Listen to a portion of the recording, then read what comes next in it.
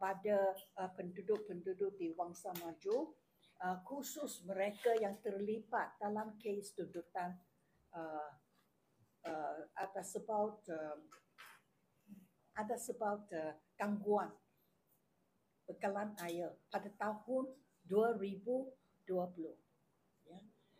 dan perbicaraan akan bermula ya, selepas empat tahun ya finally lah pada akhirnya uh, uh, kita uh, ini tarik untuk perbicaraan telah ditentukan ia akan bermula pada tujuh hari bulan uh, Oktober iaitu minggu depan lah hari Isnin. Ada uh, tiga hari bulan, uh, tiga hari bulan September 2020, uh, satu uh, gangguan bekalan air yang amat serius selama empat hari telah berlaku di negeri Selangor.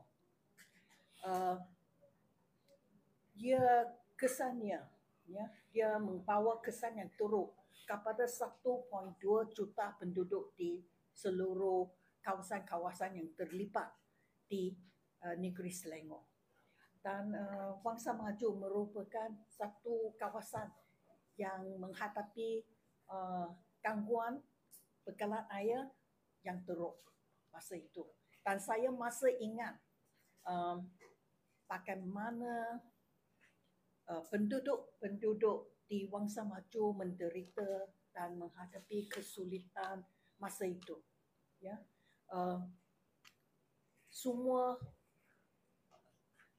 peniaga-peniaga kecil ataupun mereka yang berniaga di tepi jalan terpaksa menghentikan perniagaan mereka sebab tak ada air bagi mereka. Ini masa yang teruk. Ya, kehidupan kehidupan keluarga mereka terjejas. Tak ada income. Dan uh, pekerja-pekerja uh, terpaksa ambil hari cuti untuk cuma menunggu lori tangki air datang. Ya, sebab masa lori tangki air dia tak tentu. You have to wait. Ya, sepanjang hari dan bagi uh, uh, orang tua uh, rumah uh, suri rumah mereka terpaksa membawa air uh, ke rumah bangsa yang bertingkat tinggi. In mangsa maju, uh, banyak rumah bangsa bertingkat tiga ataupun lima. Ya, they have to carry the water all the way up kalau you di rumah tak ada orang muda, cuma orang tua dan orang dan suri rumah, bagaimana? Amat susah pada masa tempoh ini. Dan lagi pun, uh, selain daripada itu, uh, mereka yang uh, sebab tak ada tak ada air, mereka tak boleh masak, tak boleh mandi.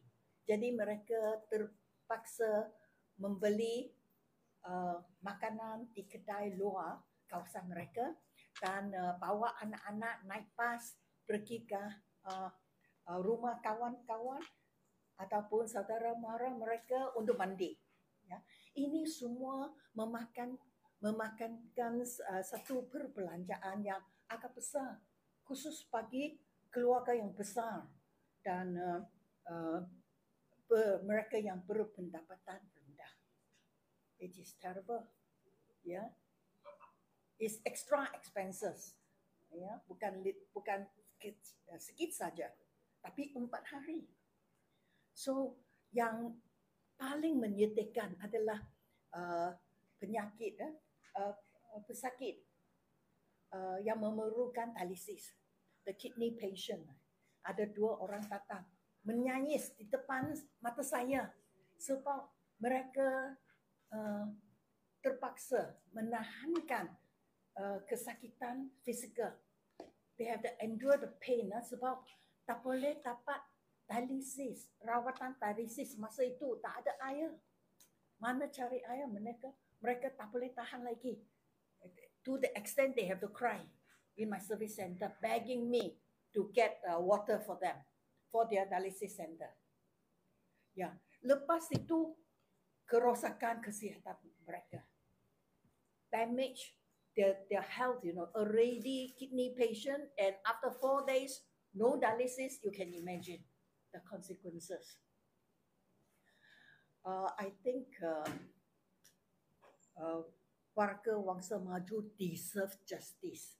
Ya, dan sebagai ahli parlimen Wangsa Maju masa itu, uh, saya uh, menganggap itu adalah tanggungjawab saya untuk menuntut uh, keadilan untuk anak buah saya. So, saya bersama dengan 809 orang termasuk saya 810 orang penduduk di kawasan ini telah uh, memfailkan satu uh, tuntutan ke mahkamah.